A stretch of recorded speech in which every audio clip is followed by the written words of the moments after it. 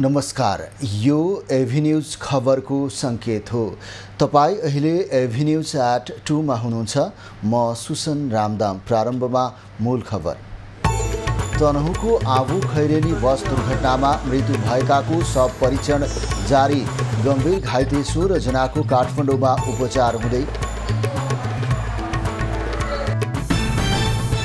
रूपन्देहीको देवदहमा तिजको दर खाँदा पच्चिसजना भन्दा बढी महिला बिरामी। देवदह मेडिकल कलेज र स्थानीय स्वास्थ्य संस्थामा उपचार गरिँदै। सुदूरपश्चिमको मौलिक पर्व गौडा आजदेखि विधिवत रूपमा सुरु। पहिलो दिन घर घरमा बेरुडा राखेर मनाइँदै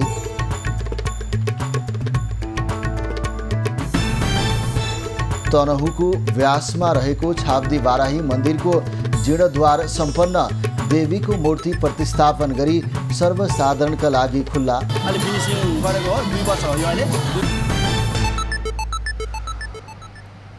अब खबरको सिलसिला प्रारम्भ गरौँ सब परीक्षण गरिँदै सम्बन्धी प्रसङ्गबाट। पृथ्वी राजमार्ग अन्तर्गत तनहुको आभु खैरेनी गाउँपालिका दुई एना पहरा स्थित मर्स्याङ्दी नदीमा शुक्रबार भएको बस दुर्घटनामा मृत्यु भएकाहरूको सब परीक्षण जारी छ। आज बिहानदेखि भरतपुर अस्पतालमा सबको परीक्षण भइरहेको हो। पोखराबाट काठमाडौँ आउँदै गरेको बस शुक्रबार आबु खैरेनी गाउँपालिका दुई स्थित एना पहराबाट मर्स्याङ्दी नदी किनारमा खसेर दुर्घटना हुँदा सत्ताइसजनाको मृत्यु भएको थियो। मृत्यु हुने सबै भारतीय नागरिक हुन्। पोस्टमार्टम आजै दिउँसोसम्म सकिने भरतपुर अस्पतालले जनाएको छ। चितवनका प्रमुख जिल्ला अधिकारी इन्द्रदेव यादवले पोस्टमार्टम पश्चात भैरवा हुँदै सब भारत लैजाने योजना रहेको जनाएका छन्। दुर्घटनामा परि गम्भीर घाइते भएका सोह्रजनाको काठमाडौँमा उपचार भइरहेको छ। शुक्रबार बिहान साढे एघार बजेतिर भारतीय नम्बर प्लेट भएको युपी त्रिपन्न एफटी सात छ दुई तिन नम्बरको बस मर्स्याङ्दी नदीको किनारमा खसेको थियो। बसमा त्रिचालिसजना सवार थिए। भारतीय पर्यटक बोकेको गाडी दुर्घटना भएसँगै सत्ताइसजनाको मृत्यु र सोह्रजना घाइते भएका छन् र सत्ताइसजनाको मृतकहरूको सब परीक्षण भइरहेको छ र यो बिचमा एना पहरा आबु खैरेनी स्थित एना पहरा दुर्घटनास्थलमा हाम्रा खबरदाता विनोद श्रेष्ठ हुनुहुन्छ।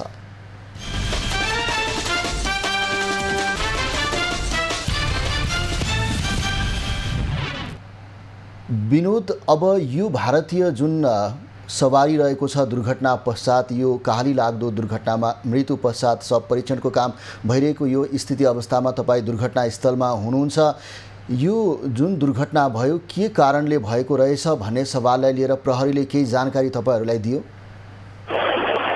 सुशान्त यतिखेर म हिजो जुन एघार बिस बजेको समयमा बिहान एघार बिस बजेको समयमा जुन एउटा दुःखद दुर्घटना भएको थियो सोही ठाउँमा त्यतिखेर हामी रहेका छौँ र हामी यो ठाउँमा अहिले रहिराख्दाखेरि अहिले जुन यो घटनास्थलमा प्रहरीहरू यो ठाउँमा चाहिँ अहिले आएर यो बस निकाल्नको लागि चाहिँ क्रेनहरू क्रेन लिएर आएको छ र अनि प्रहरीहरू हामी देख्न सक्छौँ यो बस निकाल्नलाई चाहिँ कतिको सम्भव छ भन्ने तरिकाले उहाँहरू चाहिँ अहिले तल जुन बस भएको ठाउँमा चाहिँ उहाँहरू अहिले गइराख्नु भएको अवस्था छ। जुन यो ठाउँ छ दुर्घटना भएको ठाउँमा हामी आइराख्दाखेरि यो ओह्रालो छ।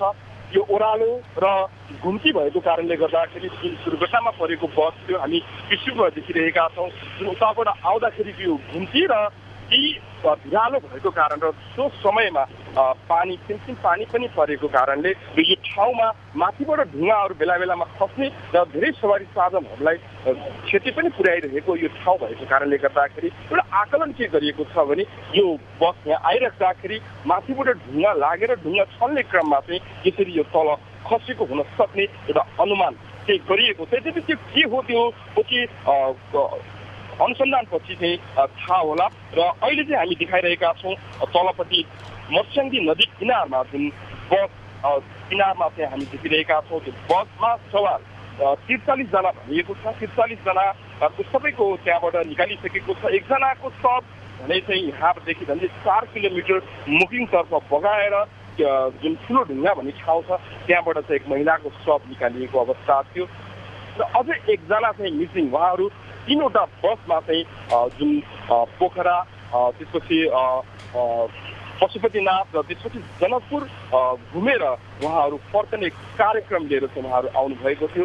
तिनवटा बसमध्ये एउटा बस चाहिँ यो ठाउँमा दुर्घटना भएपछि उहाँहरू आज राति चाहिँ उहाँहरू मुभिङमा बसिसकेपछि जुन भारतीय एम्बेसीबाट आएका कर्मचारीहरूको रोहबरमा इलाका प्रहरी कार्यालय आबु खरिनले जुन सङ्कलन गरेका थिए। यहाँनिर जुन दुर्घटनामा परेकाहरूको सामानहरू सोही बसमा चाहिँ अहिले फिर्ता पठाइएको छ र जुन शवहरू आबु खरिनीबाट राति बाह्र बजे चाहिँ छब्बिसजनाको शव एउटा शव चाहिँ भरतपुरमै रहेको थियो जम्मा सत्ताइसजना यो दुर्घटनामा परेर चाहिँ निधन भएको मृत्यु भएको चाहिँ हामीले जानकारी पाएका छौँ र छब्बिसजनाको शव राति झन्डै सत्रवटा एम्बुलेन्समा राखेर बाह्र बजे भरतपुर स्थित सरकारी अस्पतालमा लगिएको थियो र केही बेर अगाडिदेखि चाहिँ त्यहाँ पोस्टमार्टमको काम भइरहेको छ र पोस्टमार्टमको काम सकिसकेपछि फेरि पुनः एम्बुलेन्सकै प्रयोग गरेर भैरवासम्म ती शवहरू लैजाने र भैरवाबाट चाहिँ प्लेनको माध्यमबाट चाहिँ भारत लैजाने भन्ने एउटा हामीले जानकारी पाएका छौँ। विनोद अब तपाईँ दुर्घटनास्थल जुन सडकमा हुनुहुन्छ त्यहाँबाट अहिले जुन खसेको बस छ त्यसको भग्नावशेषहरू टुक्रा टुक्रा अ, लाई लिएर प्रहरीहरूले अनुसन्धान गरिरहेको अवस्था रहेको छ। तपाईँ बसेको जुन सडकबाट तल मर्स्याङ्दी नदीको किनारको त्यो एउटा दूरी चाहिँ कति छ कति मिटर तल चाहिँ यो बस गुल्टिएको हामी अनुमान गर्न सक्छौँ?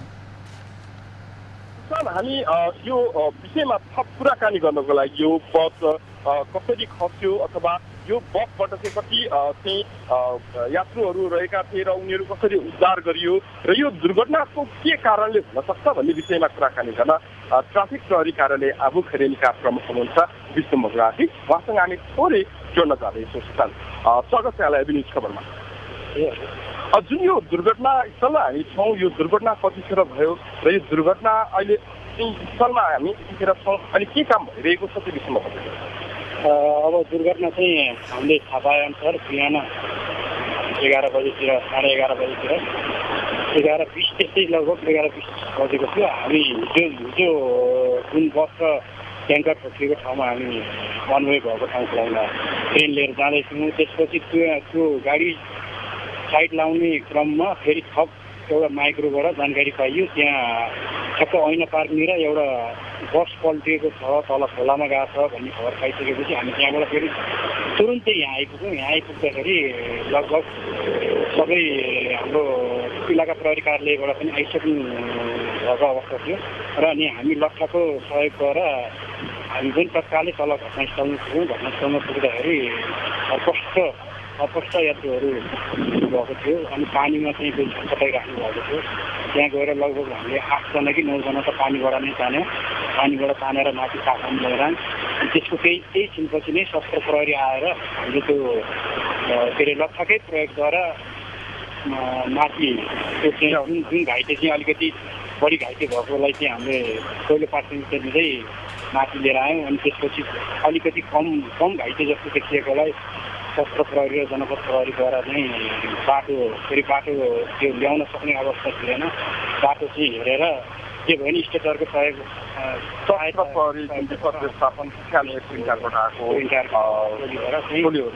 आएको तुरुन्तै गर्न तुरुन्तै गर्न सक्छौँ। दुर्घटना स्थल दुर्घटना स्थल नजिकै भएको कारणले गर्दाखेरि पनि प्रहरी त्यस्तै सशस्त्र प्रहरी सम्पूर्ण यो सुरक्षा निकायको टिमहरू चाहिँ आएर तुरुन्तै रेस्क्यु गरिएको थियो जस कारणले गर्दाखेरि पनि जति सवार थिए उहाँहरूको तत्कालै उद्धार गर्न सकिएको थियो र अ, थप हामी कुराकानी गर्न जाँदैछौँ जुन अहिले काम भइरहेको छ र एउटा हामीले एउटा खबर पनि सुनेका छौँ। बसमा त्रिचालिसजना सवार भनिएको थियो र त्रिचालिसजनाको नामहरू आइसकेको अवस्था छ। र एकजना सत्र वर्षीय युवती अझै उहाँहरूको ग्रुप जुन तिरानब्बेजना मध्येको एकजना चाहिँ दुईवटा बसमा नभएको र यहाँ पनि चाहिँ अहिले उहाँ सम्पर्कमा नभएको भन्ने एउटा खबर आएको छ। त्यस विषयमा पनि अब यो विषयमा चाहिँ हामीले त्यो लिस्ट अनुसार त्रिचालिसजनाको लिस्ट नै फेला पारेका हौँ। त्रिचालिसजना मध्येमा सत्ताइसजनाको चाहिँ हामीले सब गऱ्यौँ। त्यसपछि आएर जस्तो त्रिचालिस त्रिचालिसैजनाको सब चाहिँ हामीले यहीँ नै होइन कि? कुनै त उपचारको क्रममा हस्पिटल लाँदा सत्ताइसजनाको मध्येमा उपचारको क्रममा लग्दै गरेको पनि बाटोमा चाहिँ डेथ भएको अवस्था। अनि त्यसपछि सोह्रजना अरे घाइते गर्दाखेरि टोटल सत्ताइसजना थाकेर एकचालिसजना त्रिचालिसजना भयो नि। त्रिचालिसजनाको चाहिँ हामीले भेट्यौँ। अब अन्य अवस्था चाहिँ अब गाडीमै रहेछ भने अब त्यो गाडी पल्टाउने अवस्था भएपछि ट्रेनले पल्टाउने अवस्था भयो भने भयो भने मात्र नत्र भएको लिस्ट चाहिँ त्यही त्रिचालिस हो हामीले भेटाएको सुशान्तको जुन हामीले कुराकानी गऱ्यौँ उहाँले चाहिँ त्यो ठाउँमा जुन दुर्घटना भएको बसमा जुन लिस्ट रहेको जुन त्यो लिस्टमा चाहिँ त्रिचालिसजनाको नाम रहेको र यो जुन उहाँहरू तिरानब्बेजनाको समूहमा चाहिँ नेपाल भ्रमणको लागि आउनुभएको थियो जुन यो तिरानब्बेजनामा बयानब्बेजनामा को उहाँहरूसँग नाम रहेको मतलब जो घाइते र मृतकहरू समेत गरेर चाहिँ उहाँहरूसँग बयानब्बेजना चाहिँ नाम रहेको तर एकजनाको चाहिँ सम्पर्कमा नरहेको भन्ने कुरा हामीले केही बेर अगाडि जुन मुभिङमा उहाँहरूको जुन भारतीय दूतावासबाट सामानहरू सङ्कलन गर्ने आउने क्रममा हामीले कुराकानी गर्दा त्यो कुरा चाहिँ हामीले पाएका थियौँ। र सुशान्त हामी यो ठाउँमा आइराख्दाखेरि यो जुन दुर्घटना स्थल हामी देखाउन चाहन्छौँ यो जुन अगाडि यो घुम्ती बाटो छ यहाँबाट यो भिरालो र केही टर्निङ भएको कारणले गर्दाखेरि पनि हुनसक्छ। त्यो बेलामा माथिबाट ढुङ्गा खस्न पुग्यो र यो ढुङ्गा छोड्ने क्रममा यो सिधै भिरालो अवस्थामा रहेको ठाउँ भएको कारणले गर्दाखेरि पनि बस निकै तल हामी देखिरहेका छौँ। बस निकै तल र अर्को एउटा स्पष्ट पनि हामी पार्न चाहन्छौँ जुन यो बस चाहिँ डबल डेकर भनिएको थियो त्यो डबल डेकर नभइकन यो चाहिँ सिङ्गल जुन नेपालमा चल्ने जुन सवारी छ अब दुई तले बस भनिन्छ त्यो दुई तले बस नभएर यो एक तले बस चाहिँ रहेको छ। धेरै सञ्चार माध्यमहरूमा चाहिँ त्यो एउटा भ्रामक समाचारहरू पनि आएका हामीले पाएका छौँ। विनोद जस्तो अब सवारी जुन चालकको बारेको बारेमा चाहिँ केही जानकारी तपाईँले प्राप्त गर्नु भएको छ कि छैन? हामीले जुन यो उहाँहरूको तिन तिनवटा बसमा आएको मध्ये एउटा बस चाहिँ यसरी दुर्घटनामा पर्न गएको थियो र दुईवटा बस रातभरि नै त्यसमा सवार यात्रुहरू मुभिङ बजारको भागीरथ होटलमा चाहिँ उहाँहरू बास बस्नु भएको थियो। त्यही क्रममा हामीले चाहिँ कुराकानी गर्दा जुन तिनवटा बसको चालकहरू एउटै घर परिवारको आफन्तहरू एउटा छोरा एउटा चाहिँ भान्जा रहेको र यो जुन अहिले दुर्घटनामा परेर चाहिँ मृत्यु हुनुभएको चालक चाहिँ बुवा रहेको भनेर चाहिँ बुझिएको छ। जो कारणले गर्दाखेरि पनि यो चालक चाहिँ यो दुर्घटनामा परेर चाहिँ मृत्यु भएको विवरण आइसकेको छ जुन शनाख्त भइसकेपछि जुन उहाँहरू जुन यहाँबाट दुर्घटना हुनु पूर्व चाहिँ उहाँहरू पशुपतिनाथ जाने सिड्युल अनुसार चाहिँ उहाँहरू अगाडि बढ्ने क्रममा उहाँहरूको जुन दुईवटा गाडी अगाडि मुखी पुगी पुगेर त्यहाँ खाजा खाने क्रममा एउटा गाडी चाहिँ यहाँ दुर्घटना भएको खबर पाएपछि उहाँहरू आफ्नो गन्तव्यलाई चाहिँ छाती मारेर उहाँहरू आज बिहान जुन दुर्घटनामा परेकाहरूको सामान लिएर चाहिँ उहाँहरू भारततर्फ फर्किनु भएको अवस्था छ विनोद जानकारीको लागि धन्यवाद उहाँ हुनुहुन्थ्यो हाम्रा मुङलिङ खबरदाता विनोद श्रेष्ठ हिजो साढे एघार बजे भारतीय नम्बर प्लेटको युपी त्रिपन्न एफटी सात छ दुई तिन नम्बरको बस मर्स्याङदी नदीको किनारमा खसेर दुर्घटना भएको थियो भने सत्ताइसजनाको मृत्यु भएको पुष्टि भएको छ भने सोह्रजना घाइतेको काठमाडौँको टिचिङ अस्पतालमा उपचार भइरहेको छ र घटनाको बारेमा हामीलाई हाम्रा खबरदाताले जानकारी गराउँदै हुनुहुन्थ्यो। अब लागौँ बाँकी खबरतर्फ। तनहुको आँभु खैरेनी चार एनापहरामा शुक्रबार भएको बस दुर्घटनाका घाइतेसँग गृहमन्त्री रमेश लेखक र भारतीय सरकारकी युवा मामिला तथा खेलकुद राज्यमन्त्री रक्षा निखिल खड्सेले भेट गरेका छन्। शुक्रबार भारतीय पर्यटक सवार बस मर्स्याङ्दी नदी किनारमा खस्दा गम्भीर घाइते भएका सोह्रजनाको महाराजगञ्ज शिक्षण अस्पतालमा उपचार भइरहेको छ। बस दुर्घटनामा परि घाइतेलाई भेट्न नेपाल आएकी राज्यमन्त्री खड्सेसँग गृहमन्त्री लेखकले अस्पताल पुगेर बिरामीहरूको अवस्थाबारे जानकारी लिएका हुन्।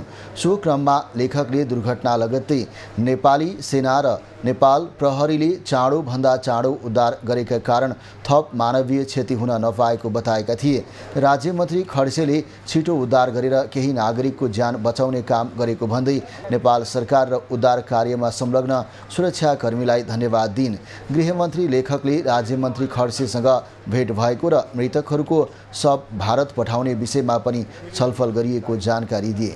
पहिलो कुरा त अब यो सडक दुर्घटनाहरू भइरहेका छन् अब बडो दुःखद घटनाहरू पनि भइरहेका छन्।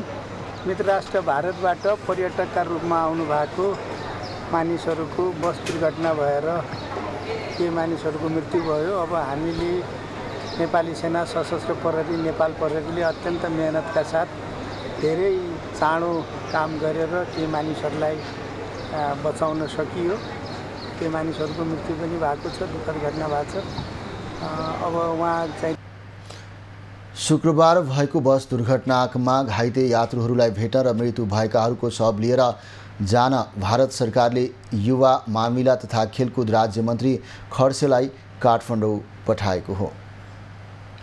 रूपन्देहीको देवदहमा तिजको दर खाँदा पच्चिसजनाभन्दा बढी महिला बिरामी परेका छन्।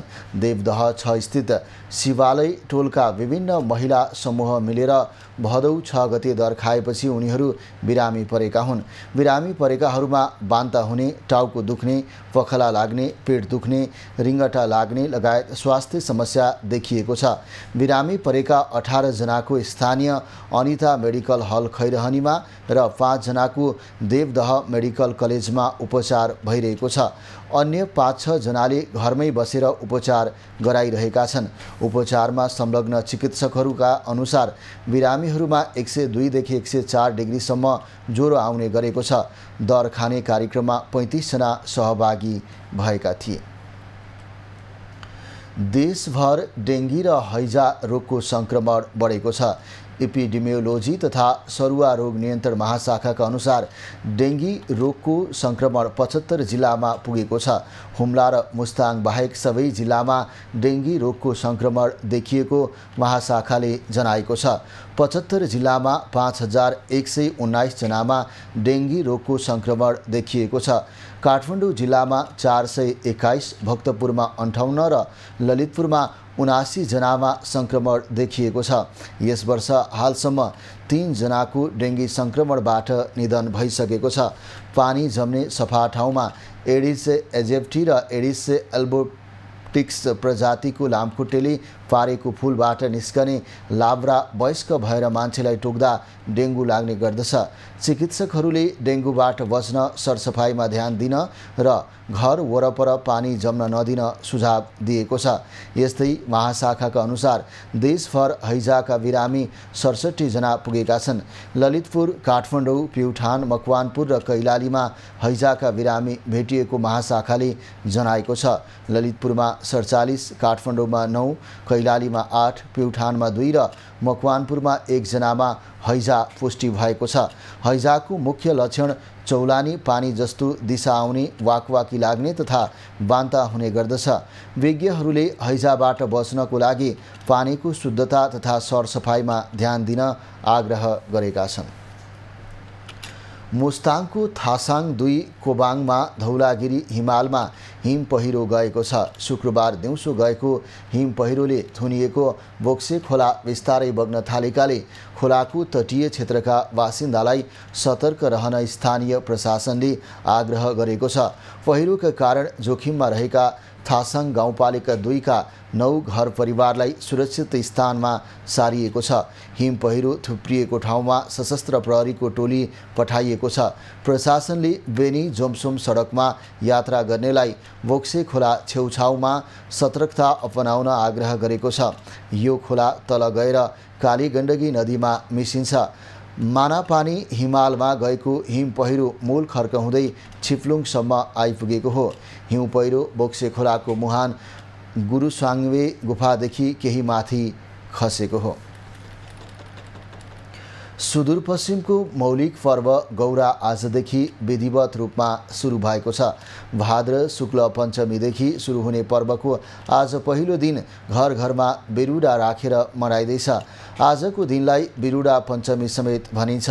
आज व्रतालु महिलाले घरमा बेरुडा पाँच प्रकारका अन्न तथा गेडागुडी भिजाएर गौराको सुरुवात गर्ने चलन छ।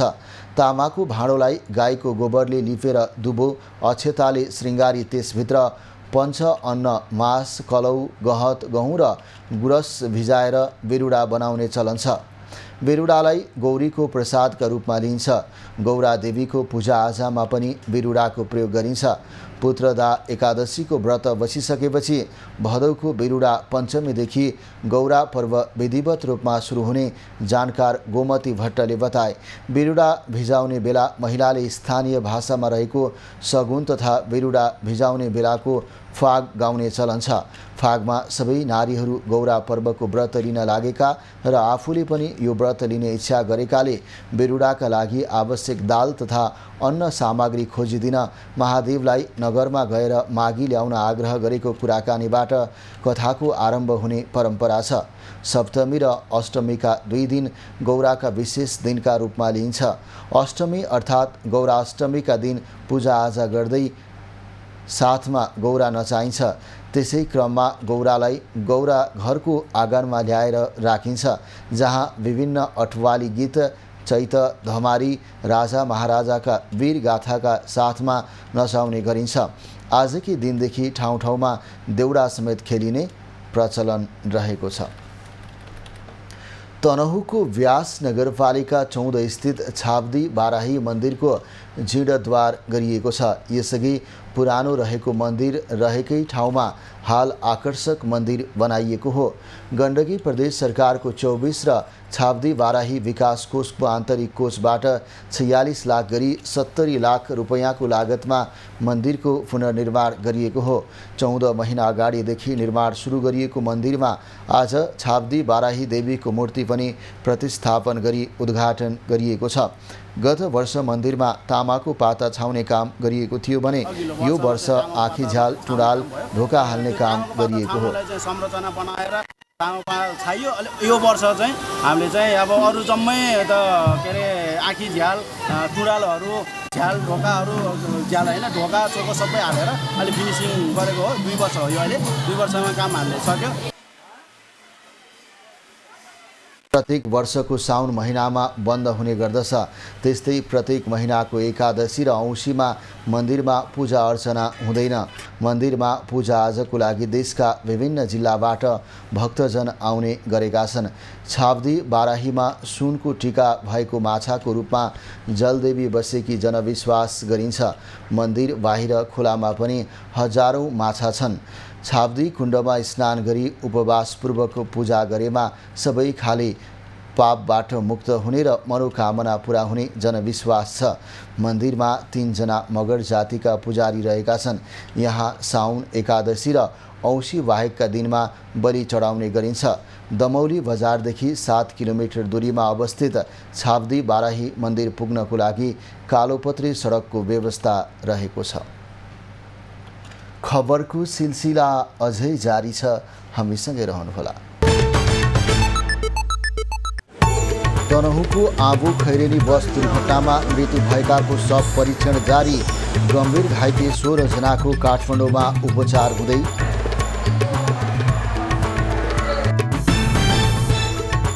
रूपन्देहीको देवदहमा तिजको दर खाँदा पच्चिसजना भन्दा बढी महिला बिरामी। देवदह मेडिकल कलेज र स्थानीय स्वास्थ्य संस्थामा उपचार गरिँदै सुदूरपश्चिमको मौलिक पर्व गौरा आजदेखि विधिवत रूपमा सुरु। पहिलो दिन घर घरमा बिरुडा राखेर मनाइँदै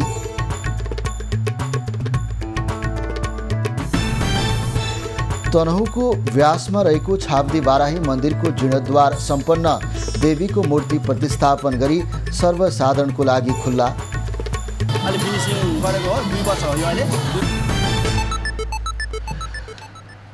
दर्शकबिन भक्तपुरको ऐतिहासिक स्थान बोडेमा नील वाराही जात्रा भइरहेको छ र आज समापन पनि रहेको छ र यस विषयमा थप कुराकानी गर्नको लागि हाम्रा खबरदाता किरोज जोडिनु भएको छ।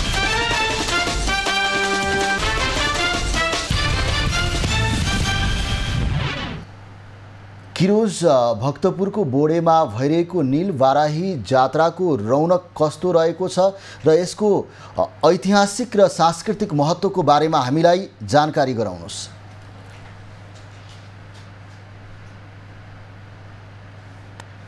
सुशन अहिले हामी भक्तपुर स्थित बोडेको वडा नम्बर आठ विष्णु घाटमा उपस्थित रहेका छौँ र आज यहाँ नील बाराही जात्राको अन्तिम दिन अथवा समापन हुने दिन रहेको छ र हामी अहिले बोडेबाट प्रत्यक्ष प्रसारण गर्दैछौँ र यहाँ हामीले देख्न सक्छौँ निल बाराही मन्दिरको अगाडि भर्खरै मात्र सबै देउताहरूको नाच गरिसके पश्चात यहाँ बोडे क्षेत्रका बाटो बाटोमा अथवा नगर घुमिसके पश्चात फेरि यही देवघरमा आइसके पश्चात यो जात्रा समापन हुने हामीले जानकारी पाएका छौँ र अहिले हामीले देख्न सक्छौँ कि यहाँ बाजा गाजा सहित परम्परागत बाजा गाजा निलबाराहीको जात्रामा देवगणहरू निकालिसकेका छन् र कुल उन्नाइसजना देवगण यस जात्रामा उपस्थित हुने प्रचलन रहेको छ जसमा एउटा भैरव चारवटा बाराही चारवटा कुमारी चारवटा गणेश र अन्य दुई देउता गरेर कुल उन्नाइस देउता यस जात्रामा नाच्ने गर्ने गर्दछन्।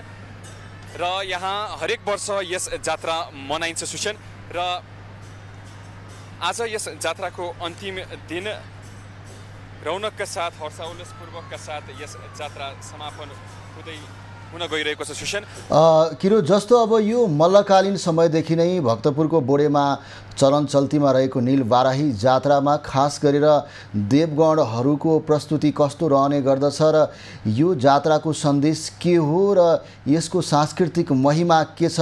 त्यहाँको जनताहरूको सहभागिता उत्साह कस्तो पाउनु भएको छ?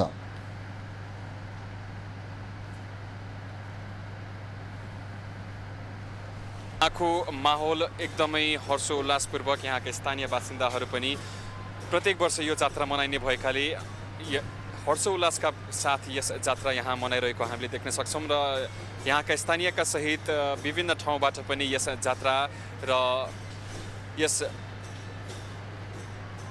नाचलाई परिक्रमा गर्न धेरै ठाउँबाट धेरै मानिसहरू दर्शकहरू हामीले यहाँ देख्न सक्छौँ र साथसाथै विदेशी पर्यटकहरू पनि यहाँ उपस्थित भएको हामीले यहाँ पाएका छौँ र यो नृत्य बोर्डेमा दृष्ट राक्षसको विजयपछि शान्तिको उत्सव मनाउन गरिन्छ र बोर्डेमा तिनवटा नाच हुने गर्छ र तीमध्ये यो नाच शान्ति र समृद्धिका लागि गरिने गरिन्छ भनेर मानिएको छ र निल बाराही प्याख अथवा नाच एक पवित्र मुखौटा नाच हो जुन चार दिन बोडीको विभिन्न भागहरूमा देखाउने गरिरहेको छ।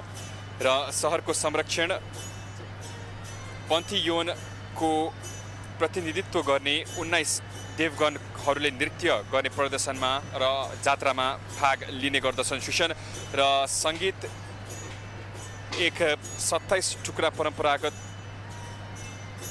विभिन्न परम्परागत बाजाहरूद्वारा प्रदान गरिएको हामीले दृश्यमा देख्न सक्छौँ र यहाँ गुठियारहरू पनि विभिन्न बाजा गाजाका साथ एउटै कपडा लगाएर उभिरहेको दृश्यमा हामीले हेर्न सक्छौँ र अहिले अगाडि जुन देवता देखिरहेको छ उहाँ भैरव देवता हुनुहुन्छ भने पछाडि देखिरहेका चारवटा बाराही देवता भनेर चाहिँ चिनिने गरिन्छ।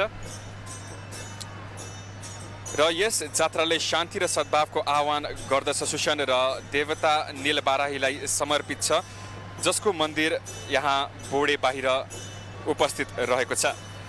बोडे भक्तपुर भैरवमा भक्तपुर भैरवमा चार बाराही चार कुमारी चार गणेश चार सिंह र दुई द्वारपालले सापारो अथवा गाई जात्रापछि चार दिनसम्म यस जात्रा चलिनेछ भने आज यस जात्राको समापन हुँदैछ सुशन।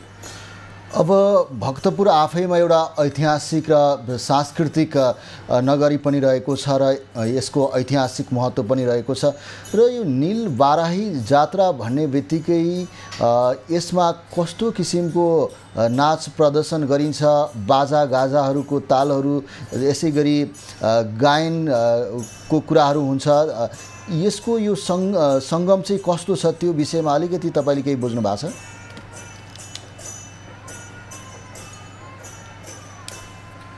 पक्कै पनि सुशन अघि मैले उल्लेख गरिए चाहिँ यस बोडीको निलबाराही जात्रामा भैरव देवगण हुनेमा एउटा चारवटा बाराही चार कुमारी चार गणेश चार सिंह र दुई द्वारपाल गरेर कुल उन्नाइस देवगणहरू यस जात्रामा नाच्ने गर्दछन् र परम्परागत बाजा गाजा सहित जुन दृश्यमा देखिरहेका छौँ र पक्कै पनि ताल पनि सुनिरहेका छौँ यही बाजाको तालमा देवगणहरू नाच्ने परिचलन रहेको छ र परम्परागत कालदेखि चलिरहेको जात्रा हरेक वर्ष बोडेमा मनाउने गर्दछ सुशन। अब अन्तिममा यो बताइदिनुहोस् कि जस्तो अब काठमाडौँको र ललितपुरको जात्राभन्दा चाहिँ खास गरेर भक्तपुरको जात्रामा केही भिन्नता के पाउनुहुन्छ? समानता र भिन्नता यो विषयमा अलिकति प्रस्ताइदिए प्रस्ता प्रस्ताउनुहोस् न।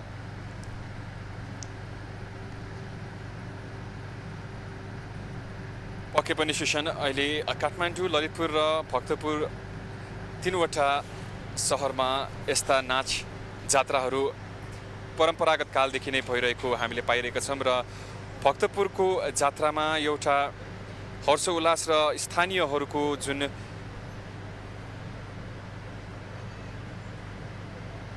सहयोगका साथ जात्रा मनाइन्छ र स्थानीयहरूको हर्षोल्लासका साथ यो जात्रा मनाउने गर्दाखेरि यहाँ हामीले भिड पनि एकदमै बढी देख्न सक्छौँ। र जुन एउटा आस्थाका साथ निल बाराहीलाई मानिन्छ र त्यही आस्थाका स्वरूप यस जात्रा मनाउने गर्दछ र परम्परागत काल धेरै किंवदन्तीहरू यस जात्राको बारेमा छ। र अघि मैले उल्लेख गरिए चाहिँ सुशन यो जात्रा देशको शान्ति र सद्भावको आह्वान गर्दछ र देवता निल बाराहीलाई समर्पित हुने गरी किरोज जानकारीको लागि धेरै धेरै धन्यवाद। उहाँ हुनुहुन्थ्यो भक्तपुरको बोडेबाट। हाम्रा खबरदाता किरोज आज भक्तपुरको बोडेमा निल बाराही जात्रा चलिरहेको छ र अन्तिम दिन आज समापन पनि हो। त्यहाँ विभिन्न भैरवहरू यसै गरी गणेश कुमारी लगायतका उन्नाइसजनाले विशेष तरिकाबाट सांस्कृतिक बाजा गाजासहित अ, नृत्य गर्ने प्रचलन रहेको छ। अब लागौँ बाँकी खबरतर्फ। तनहुको ब्यास नगरपालिका चार स्थित धार्मिक तथा पर्यटकीय स्थल तनहु कालिका शहीद पार्कमा आज सरसफाइ गरिएको छ। युवा अभियन्ता सुदीप गफारको आह्वानमा नेपाली सेना विद्यार्थी र स्थानीयको सहभागितामा पार्कमा सरसफाइ गरिएको हो। सदरमुकाम दमौलीबाट नजिकै रहेको पार्कको प्रचार प्रसार गर्दै विकास गर्ने उद्देश्यसहित सरसफाइ गरिएको हो। कालिका शहीद पार्क हुँदै कालिका मन्दिरसम्म पुग्ने सिँढी बाटो झाडीले गर्दा फोहोर र नराम्रो देखिएकाले यसको सुन्दरता कायम गर्न सरसफाइ गरिएको गफारले बताए। मन्दिरलाई मात्रै राम्रोसँग जगेर्ना गर्यो भने मानबहादुर अङ्कलको पनि नाम बढ्ने र यसले विश्वभर चिनाउने पनि गर्दछ। अरू अरू ठाउँ धेरै नै ठाउँ विकसित भइरहेको हुँदा हाम्रो कालिका मन्दिर अरू ठाउँभन्दा धेरै नै करोडौँ खर्च गर्दा पनि यो ओझेलमा परेको हुँदा त हामीलाई धेरै नै दुःख लागेको छ। व्यास नगरपालिका चारका वडा अध्यक्ष मनबहादुर गुरुङले सरसफाइ मानव जीवनका लागि अति महत्त्वपूर्ण रहेकाले यस्ता कार्यक्रमले सबैलाई सकारात्मक सन्देश दिने बताए। तनहु कालिका शहीद पार्क र तनहु कालिका मन्दिरको प्रवर्धनका लागि वडा कार्यालयले पहल गरिरहेको उनको भनाइ छ। डेङ्गु अहिले हाम्रो नगरपालिकामा नाइन्टी छ र आबु नौ सय छ्यानब्बे नौ त्यस कारण यो डेङ्गु रोगबाट बच्न बच्नु पनि मतलब सकिन्छ। किनभने आफ्नो घरको दाहिने बायाँ एरिया बाटोघाटो सबै क्लियर गऱ्यो भने त्यो मतलब मच्छर आउँदैन र त्यो मच्छर नआएपछि हामीले टोक्दैन। सरसफाइ कार्यक्रममा व्यास नगरपालिका पाँच चापाघाट स्थित काली भञ्जनगढ इका सेना र व्यास नगरपालिका चार स्थित कन्काई ग्लोबल एकाडेमीका विद्यार्थीले सहभागिता जनाएका थिए। पृथ्वी राजमार्ग अन्तर्गत दमौली बजारबाट एक किलोमिटरको दूरीमा रहेको उक्त पार्कको माथिल्लो भागमा तनहु कालिका मन्दिर रहेको छ। त्यहाँसम्म पुग्नको लागि पैदल मार्ग निर्माण गरिएको छ। तनहु कालिका मन्दिर मल्लकालीन पेगोडा शैलीमा निर्माण गरिएको छ। लुम्बिनी प्रदेशका मन्त्रीहरूले पालना गर्नुपर्ने आचार संहिता लागू भएको छ। आचार संहितामा मन्त्रीहरूले सरकारी कामको सिलसिलामा गरिएको भ्रमणमा लागेको खर्च विवरण सार्वजनिक गर्नुपर्ने लगायतका महत्त्वपूर्ण विषयहरू समावेश गरिएको छ। अत्यावश्यक नपरी एक जिल्लामा महिनामा एकपटकभन्दा बढी भ्रमण गर्न नहुने सरकारी कामको सिलसिलामा भ्रमणमा जाँदा भएको खर्चको विवरण सार्वजनिक गर्नुपर्ने निजी प्रयोजनका लागि भ्रमणमा जाँदा मुख्यमन्त्रीलाई जानकारी गराई जानुपर्ने र त्यस्तो भ्रमणमा भएको कुनै पनि खर्च सरकारी कोषबाट भुक्तानी लिन नपाइने उल्लेख छ। आचार संहितामा भ्रमणबाट फर्केपछि मुख्यमन्त्री समक्ष प्रतिवेदन पेश गरेपछि मात्र भ्रमण खर्च भुक्तानी लिनुपर्ने सदाचारयुक्त व्यवहार गर्नुपर्ने उल्लेख छ। रसुवा जिल्लाको आमा छोदिङमो गाउँपालिका तिनमा रहेको गतलाङ गाउँ कालो गाउँको नामले परिचित छ। परम्परागत रूपमा काठले मात्र बनाइएको छाना र एउटै पर्खालबाट बनेको गाउँको रूपमा परिचित गतलाङको परिचय अहिले भने मेटिँदै गएको छ। भूकम्पपछिको पुनर्निर्माणका क्रममा ऐतिहासिक पहिचान सङ्कटमा परेको हो। अहिले हामी रसुवा जिल्लाको आमा छोदिङ्बो गाउँपालिका वार्ड नम्बर तिन स्थित गतलाङमा छौँ। रसुवा जिल्लाको सदरमुकाम धुन्चेबाट करिब पैँतिस किलोमिटरको दूरीमा पर्ने यस गतलाङ गाउँलाई ब्ल्याक भिलेजको उपनामले पनि चिनिन्थ्यो। केही समय पहिला यहाँ बन्ने घरहरू यहाँकै स्थानीय काठ र ढुङ्गाको प्रयोग गरेर बनाइथ्यो।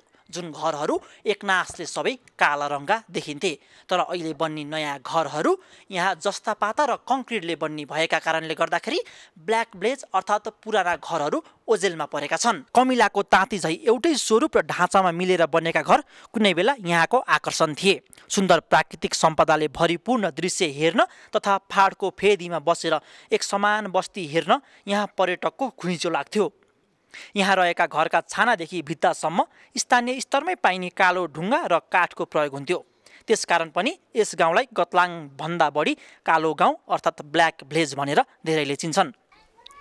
अब सबै यो कालो पाङ्ले भाले छ काठको अनि त्यसले गर्दा ब्ल्याक भिलेज भनेको होला। ढुङ्गा र त्यो यो काठको मात्रै छ नि त। तामाङ सम्पदाको मार्गमा पर्ने गतलाङ गाउँ पुरानै स्वरूपमा खोज्दै जाने हो भने अहिले खाली हात फर्किनुपर्छ कारण हो दुई हजार बहत्तर सालको विनाशकारी महाभूकम्प। भूकम्पले तहस नहस पारेको यस क्षेत्रमा अहिले भने नयाँ शैलीका घरहरू बन्ने क्रम चलिरहेको छ। अन्तत कालो गाउँको सुन्दरताको नाम र स्मृति मात्रै सीमित हुन पुगेको छ। फरक ढाँचाका घर निर्माणमा रड सिमेन्ट इटा जस्ता पाता जस्तो प्रयोग असमान बस्ती व्यवस्थापन लगायतले गर्दा यस क्षेत्रको स्वरूप परिवर्तन आएको हो। भूकम्प पछिको पुनर्निर्माणमा स्थानीय संयन्त्रको उचितम प्रयोग गरिने बताइए पनि यस क्षेत्रमा सोको अनुसरण गरिएको पाइँदैन। न त पुरानो स्वरूपको कायमै राख्न ध्यान दिएको छ। एकातर्फ ढिलो गरी पुनर्निर्माण सुरु हुने अर्कोतर्फ बस्तीको स्वरूप नै बदलिनु यो क्षेत्रमा हिजो आज पर्यटक भेट्न मुस्किल पर्छ। पर्यटकले खचाखच हुने यस गाउँ अहिले सुनसान देखिन्छ। भूकम्प जानु अघि गतलाङमा होमस्टे गेस्ट हाउस पनि सञ्चालन थिए तर अहिले पर्यटक आउन छोडेपछि अधिकांश व्यवसायहरू पलायन भएका छन्। पुरानै स्वरूपमा गाउँ नरहे पनि गाउँको स्वास्थ्य क्षेत्रमा भने उल्लेखनीय सुधार गरेको यस पालिकाका स्वास्थ्य शाखा प्रमुख निमा तामाङले बताए। अनि तपाईँको अब यो सरसफाइको कुरामा भन्दाखेरि अब पहिला यहाँ पुरै ओपन डेफिकेसन हुन्थ्यो होइन? पुरै चाहिँ ओपन दिशा हुन्थ्यो। यो बाटो बाटोमा हिँड्न सक्दैन थियो यो बाइसठी त्रिसठी अगाडि। त्यही वरिपरि पनि त अहिले चाहिँ त्यस्तो फोहोर चाहिँ त्यति छैन। अब स्वास्थ्यले चाहिँ अलिकति चाहिँ यस्तो कुराहरूमा चाहिँ अलिक फोकस दिएरै काम गरिरहेको छौँ। करिब पाँच सय घरधुरी रहेको यस गतलाङमा दुई हजार बहत्तर सालको महाभूकम्प अगाडि यहाँकै स्थानीय काठ र दाउराले बनेका रचनात्मक घरहरू धेरै थिए। तर अहिले खोज्दै जाने हो भने त्यस्ता घरहरू बिरलै मात्र भेटिन्छन् र त्यस्ता घरहरू जस्तै भएका छन् यहाँ आउने पर्यटक पनि। यसै गरी हामीले हाम्रा पुराना सम्पदा पुराना घरहरूलाई मासेर नयाँ प्रविधियुक्त घरहरू बनाउन थाल्यौँ भने त्यस्ता पुराना घर सम्पदाहरू लोप हुने निश्चित छ। यस विषयमा स्थानीयवासी स्थानीय सरकार नेपाल सरकारले बेलैमा ध्यान दिनु जरुरी छ। एबी न्युज खबरका लागि क्यामेरामा राजेश रजकको साथमा जसविन थापा घतलाङ रसुवा। काठमाडौँ मेडिकल कलेज केएमसीले सर्लाहीका दुईजना मृगौला रोगीलाई निशुल्क उपचार गरिदिने भएको छ। सर्लाहीको हरिपूर्वा नगरपालिका पाँच बस्ने पैँतालिस वर्षीय उपेन्द्र राम तथा कौडेना गाउँपालिका बस्ने उन्नाइस वर्षीय ललन यादवलाई काठमाडौँ मेडिकल कलेज केएमसीले निशुल्क उपचार गरिदिने भएको हो। मध्य प्रदेशका यातायात मन्त्री कौशल किशोर राय लगायतको विशेष पहलमा दुईजनाको कलेजले निशुल्क उपचार गरिदिने अस्पतालका सञ्चालक डाक्टर सुनिल कुमार शर्माले जानकारी दिए। हाम्रो सेन्टरमा चान्चुन साढे तिनदेखि चार लाख रुपियाँ औषधि हो डेढ लाख रुपियाँ मात्रै हामीले चाहिँ अपरेसन फिस लिन्छौँ हो कि? अब यो बच्चाको हकमा हामीले सबै नि शुल्क गरिदिने भनेर हामीले भनेको छ। अर्को पनि बिरामी हामी यहाँ टिप्दैछौँ। डाक्टर शर्मा शनिबार मृगौला पीडित राम र यादवको घरमै पुगेर निजको अवस्थाको बारेमा जानकारी लिए। सो अवसरमा डाक्टर शर्माले सरकारको स्वास्थ्य नीतिमा समस्या आएका कारण आम नेपाली जनताले दुःख भोग्नु परेको बताए।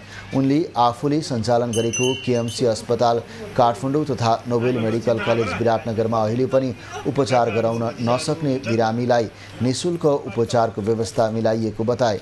डाक्टर शर्मा नेपाली कङ्ग्रेसका नेता तथा प्रतिनिधि सभा सदस्य समेत रहेका छन्।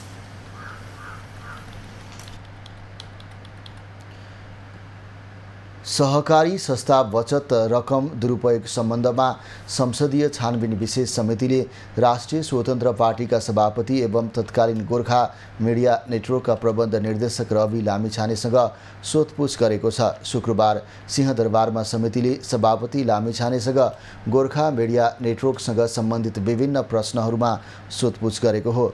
जवाफमा लामिछानेले आफ्नो नाममा कहाँबाट कसरी रकम जम्मा भयो भन्ने कुरा जीवी राईलाई थाहा हुने कुरा राखेको समितिका सभापति सूर्य बहादुर थापाले जानकारी दिए। रूपमा संस्थामा सामान्य रूपमा चाहिँ दैनन्दिन प्रशासकीय आन्तरिक काममा संलग्न रहेको तर कार्यकारी प्रमुखका रूपमा आर्थिक स्रोत जुटाउने लगायतका कामहरू जीवी राईले गर्ने गरेको हुनाले त्यसमा चाहिँ कहाँबाट कसरी रकम प्राप्त भयो भन्ने बारेमा जीवी राईलाई थाहा हुने विषय चाहिँ राख्नुभएको छ। बयानका क्रममा समितिका सदस्यहरूले व्यक्तिको नाममा ऋण खडा गरेर कम्पनीमा रकम पठाउन मिल्छ भनेर लामिछानेलाई प्रश्न गरेका थिए। त्यस्तै सदस्यहरूले सुप्रिम बचत तथा ऋण सहकारी बुटोलमा छविलाल जोशीको नाममा दुई करोड पचास लाखको ऋण खडा गरी गोर्खा मिडिया नेटवर्क प्रालीको ग्लोबल आइएमई बैङ्कमा भएको खातामा दुई करोड पैँतालिस लाख जम्मा भएको देखिएको बारे पनि प्रश्न सोधेका थिए।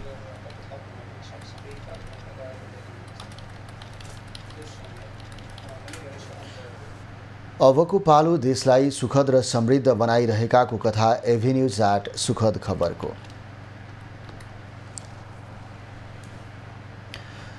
झापाको बुद्ध शान्ति गाउँपालिका फोहोर मैला व्यवस्थापनका लागि जिल्लाकै अग्रणी पालिका बनेको छ। गाउँपालिकाले फोहोर मैलाको व्यवस्थापनका लागि इन्स्टिरेटरको व्यवस्था गरेको हो। बुद्ध शान्ति एक निवासी सुजित बरालको पाँच कट्ठा जमिन बिस वर्षका लागि भाडामा लिएर गाउँपालिकाले फोहोर मैला व्यवस्थापन सुरु गरेको हो। राष्ट्रिय योजना आयोगबाट गत वर्ष विनियोजन भएर आएको नब्बे लाख रुपियाँमा अहिलेका संरचना तयार पारिएको गाउँपालिकाले जनाएको छ। यस वर्ष पनि आयोगबाट पचहत्तर लाख रुपियाँ विनियोजन भएको छ। गाउँपालिकाले कुहिने फोहोरबाट मल उत्पादन गरेर किसानलाई उपलब्ध गराउने र नकुहिने सिसा बिनाको फोहोर इनिसरेटरमा जलाउने योजना बनाएको छ गाउँपालिकामा बजार एरियाबाट अलिकति उठिरहेको अव्यवस्थित भएकोले गर्दा यहाँ हामीले खोलाहरूमा काटिरहेछौँ र यो स्थानीय चाहिँ जग्गादाता सुजित बरालसँग चाहिँ हामीले सहकार्य गरेर यो जग्गा चाहिँ पाँच कट्टा बिस वर्षलाई लिजमा लिएर यो इन्सुलेटर सहितको चाहिँ हामीले अहिले योजना पेस गर्छौँ यसमध्येको बजेटबाट अहिले हामीले एउटा फोहोर बोक्ने व्यवस्थापन गर्ने एउटा गाडी पनि ल्याएको छौँ र यो क्रमशः यो साल पनि दोहोरिएर आएको छ अझै प्रोजेक्टहरू सिद्धिएको छैन यसलाई फोहोर व्यवस्थापन गर्नको लागि राष्ट्रिय योजना आयोग मार्फतबाट पालिकाले पहल गरेर यस्तै किसिमको इन्सिनरेटर यसअघि नै बिर्ता मोडमा रहेको मनमोहन मेमोरियल सामुदायिक अस्पतालले सञ्चालनमा ल्याइसकेको छ। भारतको सोली ट्रेक वेस्ट एन्ड डिस्पोजल प्रालीद्वारा निर्मित उक्त इन्सिनरेटर वातावरण मैत्री रहेको बताइन्छ उक्त मेसिनमा फोहोर जलाउन इन्धन वा विद्युतको आवश्यकता पर्दैन इन्सिनरेटरमा फोहोर राखेर आगो सल्काए मात्र पुग्ने हुँदा शून्य लागतमा फोहोर जलाउन सकिने कम्पनीले दाबी गरेको छ अबको पालो एभिन्यू चार्ट बिजनेस चालु आर्थिक वर्षको पहिलो महिना साउनमा आयात निर्यात घटेको छ भने व्यापार घाटा बढेको छ। भन्सार विभागको तथ्याङ्क अनुसार साउनमा आयात सामान्य घटे पनि निर्यात उच्च दरले घट्दा व्यापार घाटा बढ्न गएको हो। साउनमा एक खर्ब अठाइस अर्ब सैँतिस करोड एकहत्तर लाख रुपियाँको वस्तु आयात र बाह्र अर्ब बाइस करोड एकसट्ठी लाख रुपियाँको वस्तु निर्यात भएको छ। अघिल्लो आर्थिक वर्षको साउनमा एक खर्ब उन्तिस अर्ब तेइस करोड रुपियाँको आयात र तेह्र अर्ब बाहन्न करोड छयासी लाख रुपियाँको निर्यात भएको थियो। विभागको तथ्याङ्क अनुसार एक महिनामा कुल व्यापार घाटा एक खर्ब सोह्र अर्ब पन्ध्र करोड नौ लाख चौहत्तर हजार रुपियाँ रहेको छ। अबको पालो कृषि खबर। पर्वतका किसानले लगाएको धान र कोदोको गाभा कुहिने र जरामा किरा लाग्ने रोग देखिएको छ। रैथाने जातका धान र कोदोमा रोग देखिएपछि किसान चिन्तित भएका छन्। रोपेको महिना दिनमै गाभा कुहिने मर्ने तथा गुवामा किरा लाग्ने समस्या देखिएपछि धान र कोदो मरेको किसानको भनाइ छ।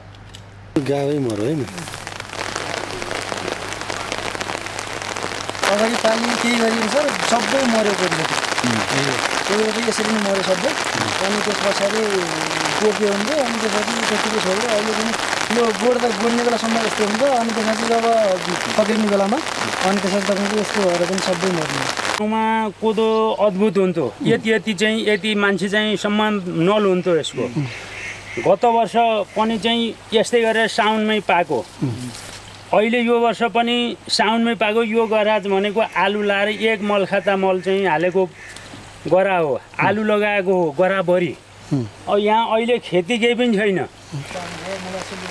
किसानहरूको बालीमा आकस्मिक रूपमा रोग देखिएपछि कृषि ज्ञान केन्द्र पर्वतले समस्या पहिचानका लागि स्थलगत रूपमा वैज्ञानिक सहितको टोली पठाएको छ। धान र कोदोमा देखिएको समस्या अध्ययनपछि मात्रै थाहा हुने विज्ञको भनाइ छ। यही अघिल्लो वर्षहरूमाबाट सुरु भएको र यो विभिन्न रोगहरू चाहिँ देखा परेको र पछिल्लो केही वर्षहरूमा चाहिँ अलिकति धेरै फैलेको ह्यापकको रूपमा देखिएको छ। र यिनै रोगहरू जस्तो जरामा पनि एक किसिमको किरा देखेका छौँ। र अहिलेको हाम्रो प्रारम्भिक रूपमा यसो हेर्दाखेरि जुन रुटेफिड भन्ने चाहिँ रोगी जस्तो लागिरहेको छ हामीलाई अब पक्कै प्रयोगशालामा लगेर सरले चाहिँ त्यसलाई यकिनका साथ गर्नुहुनेछ। खेतमा सारिसकेपछि मर्ने नै हो। त्यति बेलै हामीले अलिकति ख्याल गर्नुपर्छ सावधानी हुनु पऱ्यो त्यसलाई हटाउने अनि त्यसपछि त्यति बेला बिहारलाई पनि उपचार गर्ने। यसको समस्या गत वर्ष सामान्य समस्या देखिएको भए पनि यो वर्ष भने पुरै फाँटमा लगाएको धान र कोदोमा देखिएको किसानले बताएका छन्। खबरको सिलसिला अझै जारी छ हामीसँगै रहनुहोला। तनहुको आबु खैरेनी बस दुर्घटनामा मृत्यु भएकाको सब परीक्षण जारी। गम्भीर घाइते सोह्रजनाको काठमाडौँमा उपचार हुँदै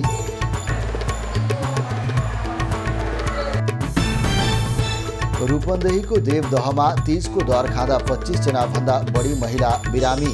देवदह मेडिकल कलेज र स्थानीय स्वास्थ्य संस्थामा उपचार गरिँदै सुदूरपश्चिमको मौलिक पर्व गौरा आजदेखि विधिवत रूपमा सुरु। पहिलो दिन घर घरमा बिरुडा राखेर मनाइँदै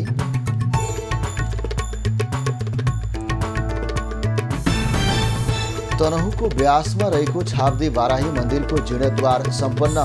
देवीको मूर्ति प्रतिस्थापन गरी सर्वसाधारणको लागि खुल्ला।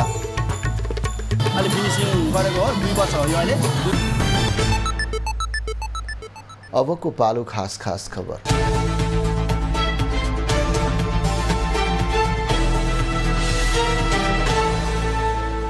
नेकपा एकीकृत समाजवादीको केन्द्रीय पदाधिकारी टुङ्गो लगाउन केन्द्रीय कमिटीको पुनः बैठक आइतबार बस्ने भएको छ। पार्टीमा रिक्त वरिष्ठ उपाध्यक्ष उपाध्यक्ष उपमहासचिव कोषाध्यक्ष सहित अठार पदाधिकारी पदपूर्ति गर्न बैठक आह्वान गरिएको हो। काठमाडौँको नागढुङ्गा स्थित झ्याप्ले खोला नजिकै बुधबार खसेको पहिरो पूर्ण रूपमा हटाएर हिजो बेलुकादेखि सडक दुईतर्फी खुलाइएको छ। प्रहरी वृत्त थानकोटका अनुसार बुधबार बिहान खसेको पहिरो हटाएर हिजोदेखि पूर्ण रूपमा सडक सञ्चालनमा आएको हो। भदौ लागेपछि अन्डाको माग बढेको छ। साउनमा व्रत बस्ने र चोखो खाने धार्मिक मान्यता लगायतका कारण अन्डा उपभोग घटेकोमा भदौ लागेसँगै माग बढेको व्यवसायीले बताएका छन्। माग बढेसँगै अन्डाको मूल्य पनि बढेको छ।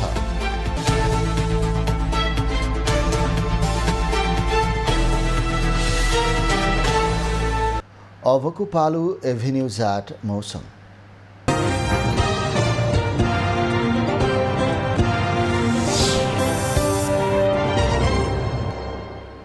हाल कर्णाली प्रदेशका थोरै स्थानहरूमा हल्का वर्षा भइरहेको छ।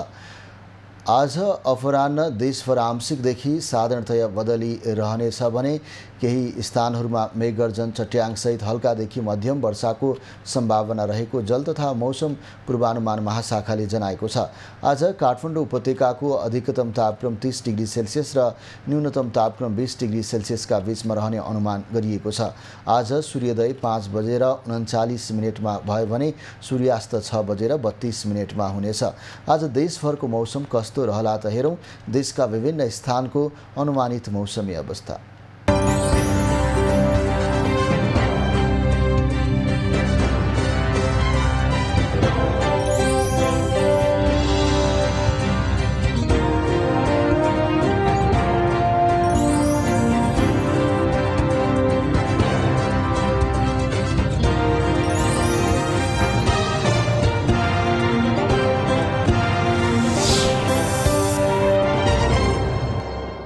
अहिलेलाई खबरको क्रम यति नै। एभी न्युज खबरका यी सहित अन्य विस्तृत खबरको लागि W W W dot AV news dot TV log on गर्न सक्नुहुनेछ।